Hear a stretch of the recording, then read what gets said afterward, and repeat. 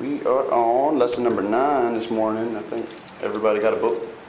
We're kind of going to be backing up a little bit. Everybody ought to be extra talkative this morning because y'all all got an extra hour of sleep. Huh? Oh, who took your book? Yeah. I missed that extra hour of sleep. Heather woke me up and said, It's time to go. I said, Whoop. Slept right through it. I slept right through that extra hour. All right. This morning's lesson, lesson number nine, is the coming of the Christ, part one. Now, remember, we quarter study is this we believe. We've been working our way up to this. The reality of God, the inspired word, reading God's word, then early and later Hebrew history, God's plan to save man, so we can we can see this progression. We see all this coming. we have how many? Six different sets of scripture this morning to go through. And a lot of these verses, they just had a verse here and a verse there without the backstory. So, like Wiley, I'm going to back up and do the a lot of what's before our verse and then what's after it as well, just so we can set the stage a little bit better. The first two sets of scripture are from the book of Isaiah. Who wrote the book of Isaiah? Isaiah. Isaiah. Everybody grin. Good morning. The, the prophet Isaiah. Um, and was it about six months ago, I think, we did our entire Bible study was on Isaiah. Isaiah was considered by some to be, quote, the greatest prophet. Um, the reason for this is we've we talked about this when we studied Isaiah. Um, he has the greatest number of prophecies about the coming Messiah. Therefore, Isaiah was called the what prophet? The Messianic prophet, yes. And this was written around 700 BC, so 700 years before Jesus came and was born. So, um, first verse is Isaiah 7:14, but we're going to back up to verse number 10. We're going to do 10 through 17. And this section in the study guide is um, entitled "Virgin Birth." So let's think about that when we're as we're going through these verses. Isaiah chapter 7, verse number 10. Moreover, the Lord spoke again to Ahaz, saying, Ask a sign for yourself from the Lord your God. Ask it either in the depth or in the height above. But Ahaz said, I will not ask, nor will I test the Lord. Then he said, Hear now, O house of David, is it a small thing for you to weary men, but you will weary my God also? Verse 14, Therefore, the Lord himself will give you a sign. Behold, the virgin shall conceive and bear a son, and shall call his name Emmanuel. And then 15, 16, and 17. Curds and honey he shall eat, that he may know to refuse the evil and choose the good. For before the child shall know to refuse the evil and choose the good, the land that you dread will be forsaken by both her kings. The Lord will bring the king of Assyria upon you and your people and your father's house, days that have not come since the day that Ephraim departed from Judah. So, back up to verse number 11. Ask a sign for yourself from the Lord your God. Ask it either in the depth or in the height above. We've seen this kind of imagery, if we remember, from Isaiah before, where he'd say from the top of the mountains to the bottom, from the, from the trees to the brook, that type of thing. What does he mean when he says ask it in the depth or in the height above?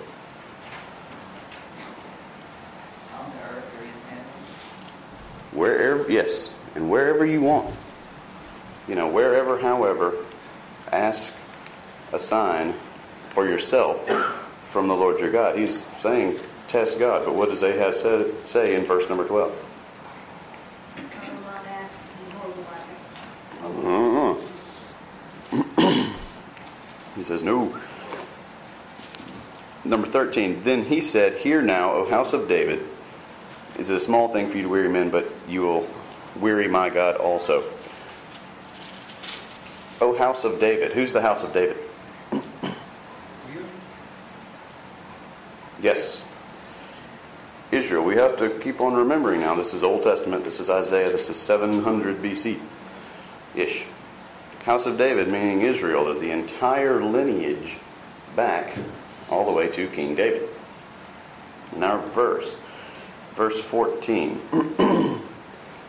Therefore, the Lord Himself will give you a sign. Therefore means what? See, I can't, couldn't just start at verse 14 when it says therefore. We had to back up a few verses. Because Yes. like. Because of this, um, to make you believe so you would know God's power. Therefore, the Lord Himself will give you a sign.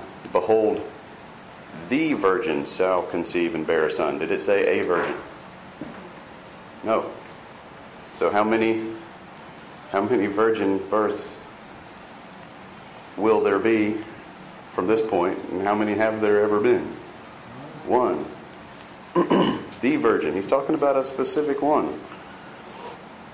So the is one and only one. Shall conceive and bear a son, and shall call his name Emmanuel. We're going to get into that a little bit later, but what does Emmanuel mean?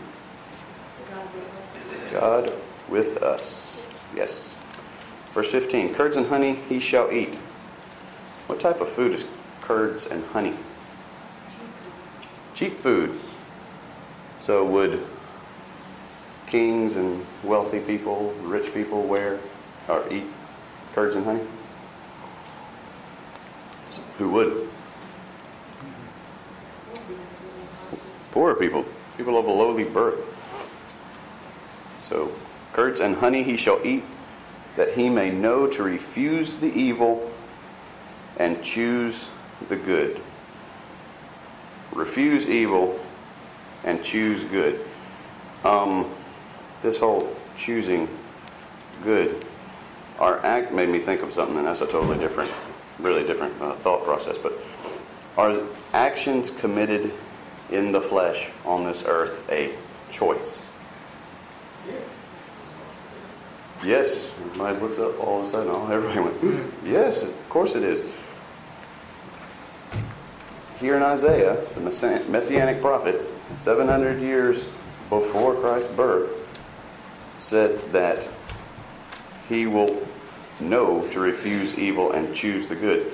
Yes, if it was a choice for Jesus, it's a choice for us. Why do we know that? Although we, we're going to always fall short.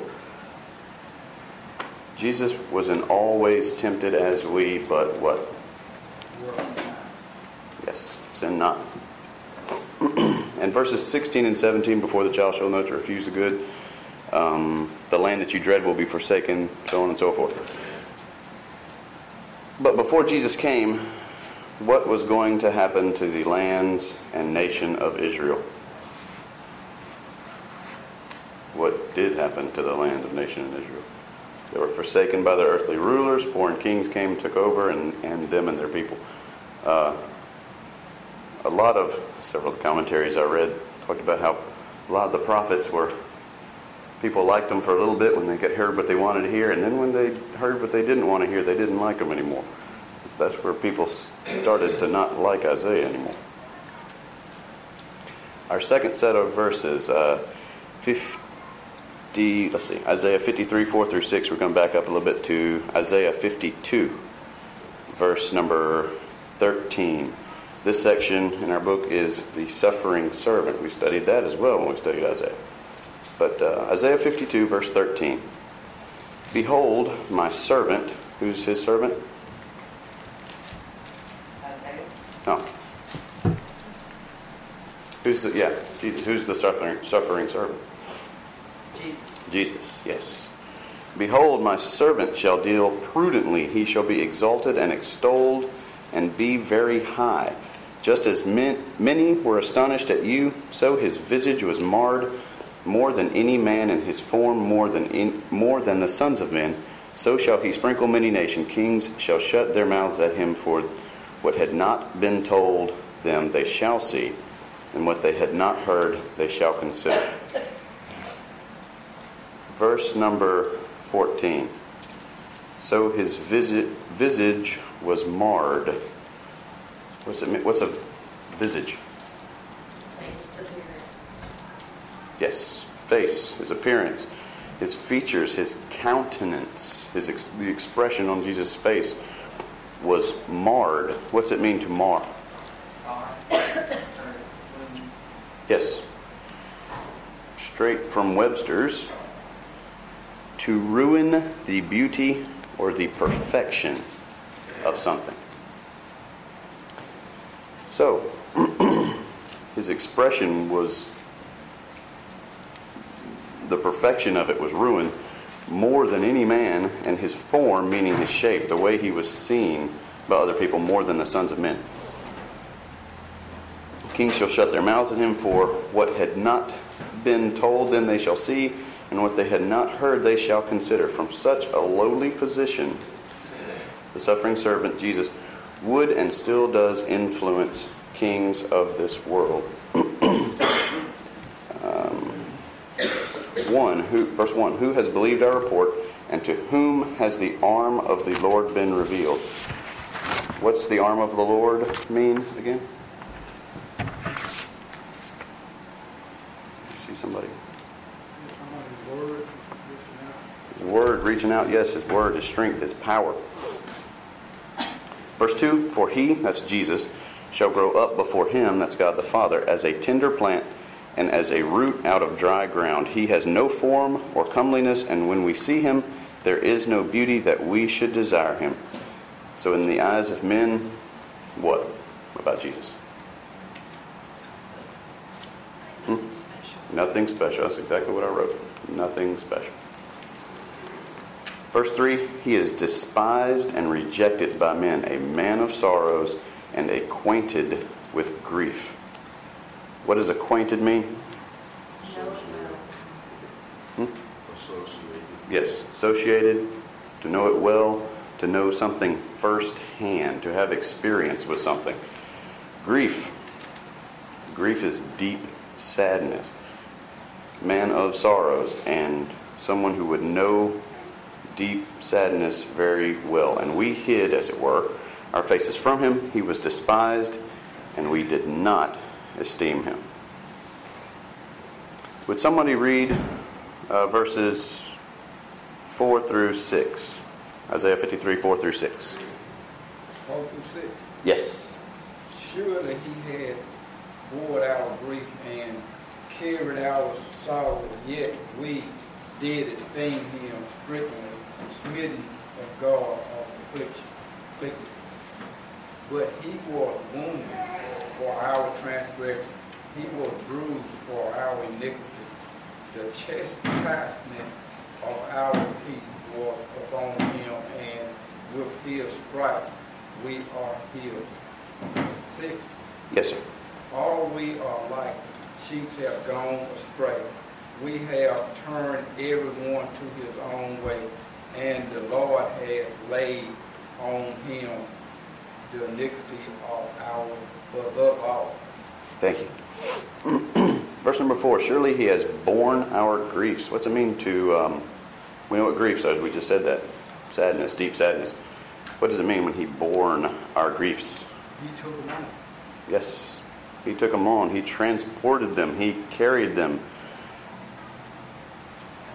Was the cross that Jesus transported, carried, borne, was that cross Jesus' cross? Exactly. It was not Jesus' cross, it was our cross. Yet we esteemed him stricken, smitten by God, and afflicted. Esteemed, meaning there we valued him smitten by God and afflicted. Verse number five, um, many comment, commentators, commentaries, things that you read will say verse number five of chapter 53 of Isaiah is the key verse, quote unquote, of the book of Isaiah. But he was wounded for our transgression, he was bruised for our iniquities. The chastisement for our peace was upon him, and by his stripes we are healed. Verse 6 all, all we like sheep have gone astray. We have turned every one to his own way. And the Lord has laid on him the iniquity of us all. On Jesus, the iniquity of us all. Our, so our Ms. Pat, you're here, our English teacher. Somebody help me with tenses. What does what tense is has laid? Has laid is present, perfect. So it means it, it occurred, but it is still going. That's much better than what I wrote. Thank you. so, when was Isaiah written? When was the book of Isaiah written? Seven hundred years before Christ. So, how was he speaking like it had already happened? Because it was already planned before the world was. Exactly. God already knew. If God already know, knew that, did Jesus already know? We often think about the few days right before the crucifixion. Jesus knew Way back. way, way back, longer than we can imagine going back or going forward. That span of time, Jesus knew. to con- continue on with the tenses in that verses 7, he was oppressed and he was afflicted, yet he opened not his mouth. He was led as a lamb to the slaughter, and as a sheep before its shearers is silent, so he opened not his mouth. He was taken from prison and from judgment, and who will declare his generation? For he was cut off from the land of the living. For the transgressions of my people he was stricken. Verse number 9 And they made his grave with the wicked, but with the rich at his death, because he had done no violence, nor was any deceit in his mouth. Made his grave with the wicked. Where did Jesus die? On the cross, between two thieves. Grave was technically the cross. With who? The wicked, two thieves.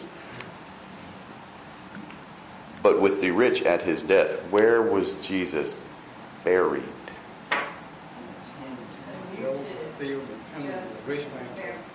Yes, Joseph of Arimathea, a rich, a rich man, but with the rich at his death. So, 700 BC.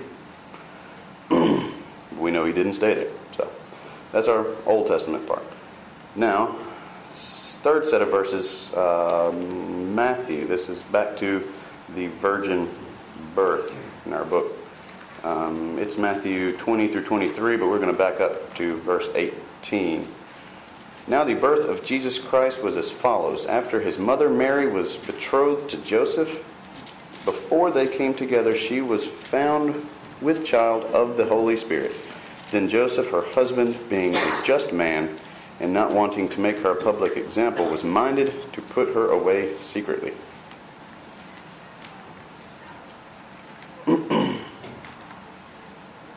as a Christian, as a person who's accepted all this, you read through that, you just go through it, and you accept it. I've been in a couple of arguments in the last week with people on Facebook. discussions, I'll take it back, discussions. If you don't believe, verse number 18, before they came together, before they were husband and wife, she was with a child of the Holy Spirit. If you don't believe that, do you have a problem with the rest of the Bible? Yes. Well, I believe the Bible, but I don't believe. Stop. Yes, sir. We have problems with all of that. You have a problem with all the Bible. Yes. Uh, you can pick any other example you want.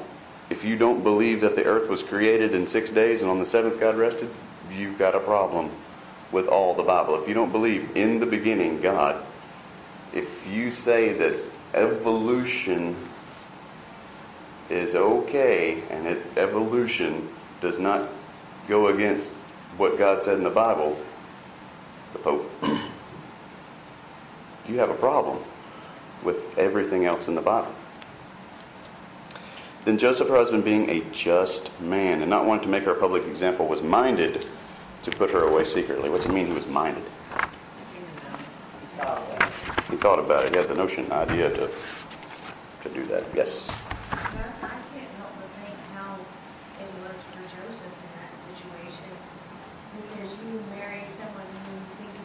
in that situation. Because you know, someone who you think is a virgin, pops up pregnant, it's like the worst things are gonna go for your dad. Had anybody ever been in his position before? Or hers? Uh, No. Colin also, if you think about it, he's having to look at what society is looking on him as, even though he did have the dream that the angel came to him and said, hey, this is gonna happen, you know, and you have to assume he was a man of faith, Mhm. you know, and, and then all of society is looking on him and they're counting back on their fingers, you know, hey, Yeah. wait a minute, you know. I Yeah. mean, he's got a big decision to make there, you know. Yeah, and as I just said, he had he decided to do it secretly, not publicly, not. Yeah. Um, would someone read verses 20 through 23, please? But while he thought about these things, behold, an angel of the Lord appeared to him in a dream, saying, Joseph, son of David, do not be afraid to take you Mary, to take to you Mary for your wife. For that which is conceived in her is of the Holy Spirit. And she will bring forth a son, and you shall call his name Jesus, for he will save his people from their sins. You said through twenty-three? Yes. So all this was done that it might be fulfilled, which was spoken by the Lord through the prophet, saying, Behold, the virgin shall be with child and bear a son, and they shall call his name Emmanuel, which is translated God with us. Thank you. Verse 20, but while he thought about these things, Joseph, an angel of the Lord appeared to him in a dream, saying, Joseph, son of David. That language is, son of David, is messianic language. Um, Matthew references the Old Testament 76 times and in writings, and he quotes the Old Testament 53 times. Without the Old Testament, without the Old Law, would there be a New Testament or New Law? That's pretty simple. No. But yet people still want to grab old and put it with the new. That's yeah, only parts of it. But that's as simple as I can speak to somebody and they will still dismiss you. Why would you have the old? Why would you have a new? You know, if the old wasn't now the old, and then that's that's as plain as I can just speak. I brought this example up in school this past week. We were talking about just a friend. Mhm. The scarlet letter, and kids now don't understand why we would brand someone with the scarlet letter. Well, it's so bad. And I went back to this and we talked about how Jesus, and how um, Joseph thought about putting Mary away hmm because he knew definitely he hadn't touched her. So, but he did not have sex before marriage. Mhm. And I told him that in some countries they still, ladies cannot go out in public with a guy or be around a guy, period, unless somebody else is with her because she is pure when she is married. But they just don't see. I'm glad you brought that up. It's been a while since I thought of that. But when I when I read that, it was like, oh, this is scandalous. It was. And, And- we felt that way. These kids have no, it's like, what? They don't go, some don't go at all, so they need nothing. Mm. Yes, sir. uh, listen to the news, I listened to CNN one day last week, the group ISIS over there stirring up all that stuff. They, they, they killed a woman last week. Stoned. hmm They For the exact same thing, yes. about the man, but they did. But the woman, oh yeah, they'll bring that up quick, won't they? It's funny how that works. Some people. Verse 22 So all this was done that it might be fulfilled, which was spoken by the Lord through the prophet. What prophet? Isaiah. Uh, verse 23 here is a reference of Isaiah 7:14. Behold, the virgin shall be with child and bear a son. His name Emmanuel, which is translated God with us.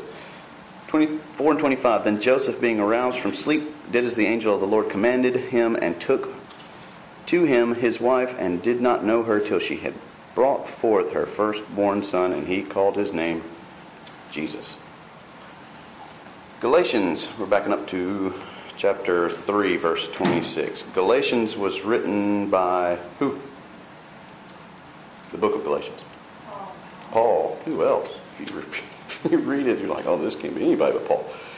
It was written to refute the Judaizers and to call Christians to faith and freedom in Christ. This is this very material is what I got into an argument, discussion, discussion with several people on Facebook about. The funny thing is, one of them's an atheist, one of them's an agnostic, and the other one I got to thinking about it. I'm like, he's basically a Judaizer because he knows the Bible, but he picks this and picks that. It's fine. Sound like it's gonna be a show about. Levity's a good thing. It's fun. Yes, exactly. But that's what was going on with my discussion, but it was over this exact same thing. So Galatians 3:26 For you are all sons of God through faith in Christ Jesus. For as many of you were baptized into Christ have put on Christ.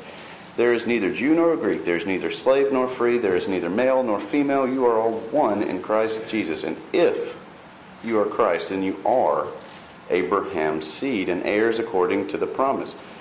Verse 1 Now I say that the heir, as long as he is, as, is a child, does not differ at all from a slave, though he is master of all, but is under guardians and stewards until the time appointed by the Father. Even so, we, when we were children, were in bondage under the elements of the world. Verse 26 For you are all sons of God through what? Christ. Through faith in Christ. Hearing there is kind of implied. How do you get faith? Hearing. Belief is faith. Um, for as many of you were baptized into Christ, have put on Christ. Once repent, confess, those are implied. You wouldn't repent and confess if you didn't believe and become baptized. So once you are baptized into Christ, have put on Christ, then there is neither Jew nor Greek, there is neither slave nor free, there is neither male nor female, for you are all one in Christ. What about what about uh, this one person must be addressed as reverend? Didn't say that. What about this one person must be addressed as pope? Didn't say that. It said one. As long as what? We're in Christ. 29. And if, that if should be this big in everybody's Bibles, and if you are Christ, then you are Abraham's seed and heirs according to the promise. Remember who he's talking to here. Judaizers, people are saying, well, I'm, I can trace my lineage back through it. Blood doesn't matter. Down to verse number three. Even so, we, when we were children, were in bondage under the elements of the world. What's the world? Sin. Yes, yes, yes. Someone read verses. Um, where are what? Galatians uh, 4, 5, 6, and 7.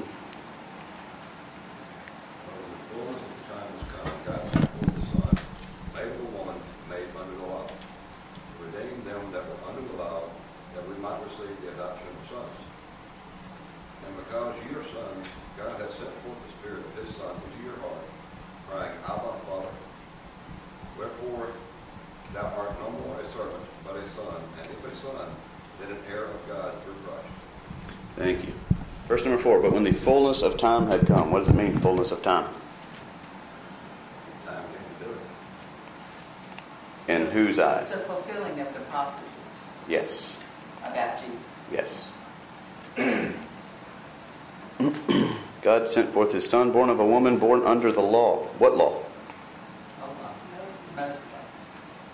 The old law. Jesus did not come to destroy the law, but to what? Fulfill it. So when Jesus died for our sins and rose on the third day, the old law was what? Finished. Finished. It was fulfilled. It was finished. It was done away with. It was complete. When you finish something, do you keep on doing it? No. Our house has a lot of work to do. Constantly.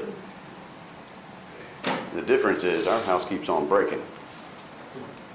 God came and finished it once and for all. I'm never going to finish our house once and for all. It needs to be painted, it needs to be done, a bunch of other stuff needs to be done. But when when I get one job done, I'm not going to be like, okay, I'm going to do it again. Mm-mm. When I'm finished, I want to be finished with something, but God will be finished and is finished with that. Um, to redeem those who are under the law, we might receive the adoption as sons. Sons of who? God. Through who? Jesus Christ. Yes. Down to verse number 7. Therefore, you are no longer a slave or a servant, but a son. Uh, slave or servant to what? Sin. What did we just say? Yeah, sin. And if a son, if, then an heir of God through what? Christ. John 2 11. This is changing to sin, signs and miracles. This, John 2 11, and then John 20, verses 30 through 31. Who wrote the book of John? Easy this morning. Easy. John the Apostle. What was, uh, who was John's brother? James. What were John and James, what was their nickname? What were they called? Sons of Thunder. Love it. It's awesome. verse number 11, John 2, verse 11. This beginning of signs Jesus did in Cana of Galilee and manifested his glory, and his disciples believed in him. We didn't read verses 1 through 10. What happened in verses 1 through 10? Everyone knows. They went to a wedding. What's the rest of the story? What happened?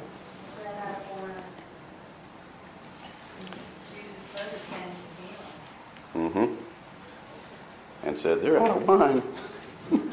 and Jesus said, What? Yeah, what's that have to do with me?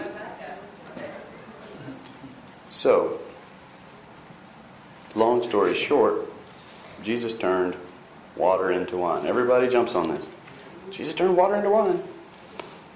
This is a little bit of backstory on this. Jesus, that's Jesus' first recorded miracle. If I think if you do everything chronologically.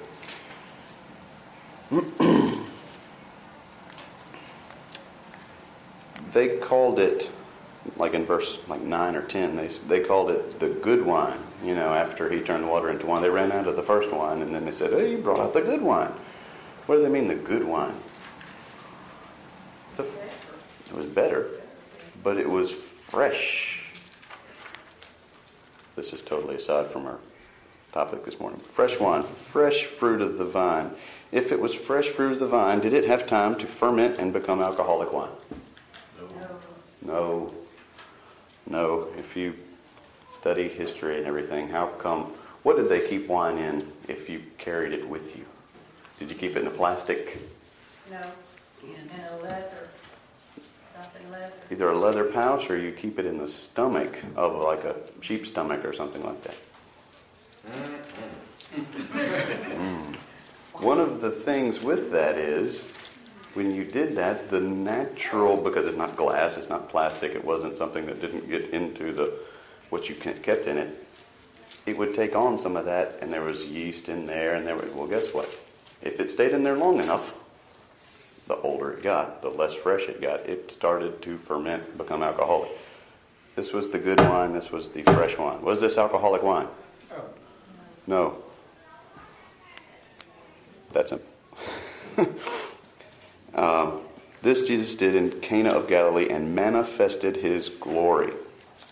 As we said, this is Jesus' first recorded act, uh, one of. What's it mean it manifested his glory, where his glory was manifested? Showed, proved. Yes. It showed and proved it. What's the last part of verse number 11? And his disciples believed in him.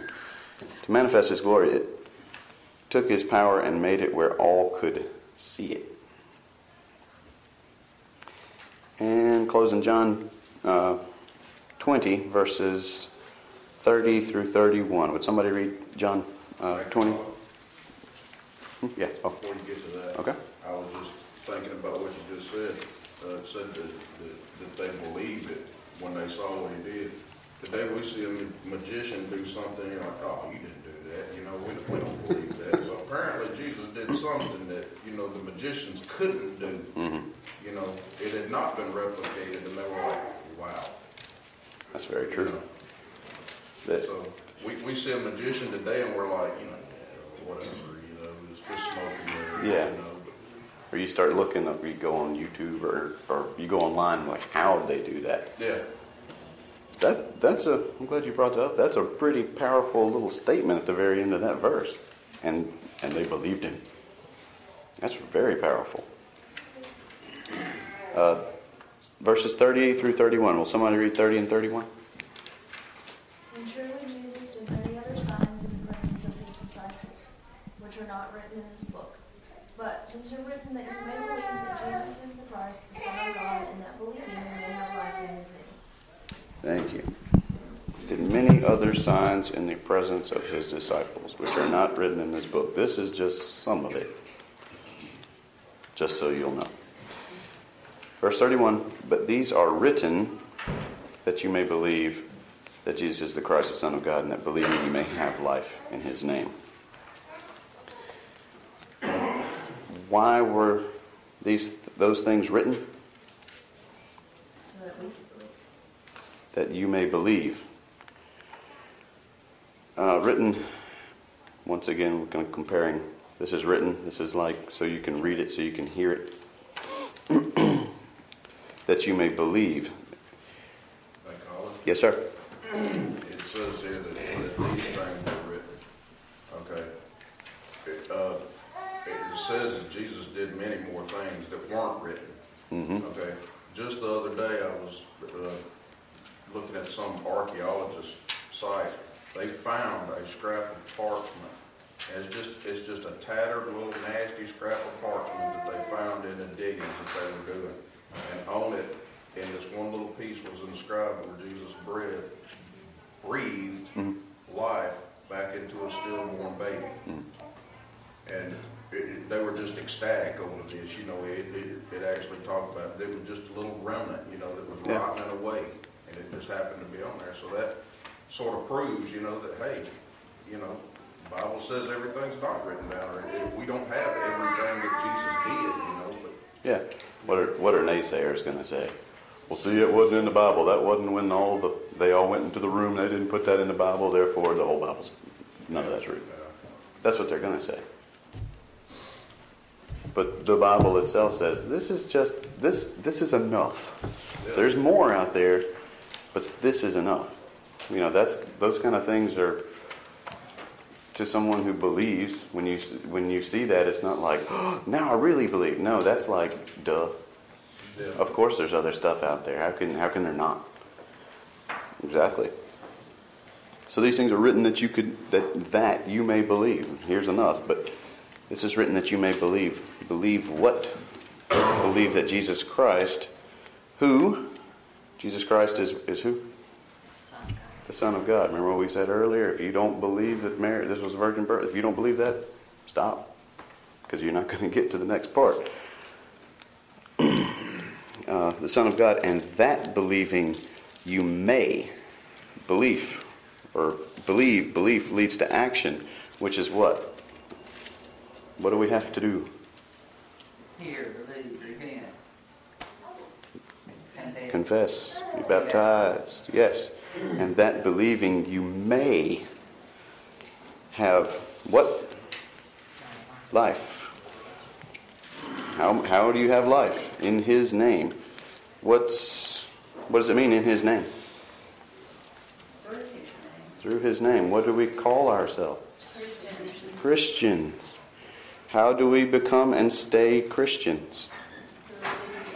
Through obedience. Yes, by keeping His commandments. To the old law? To the new law. New law of faith, yes.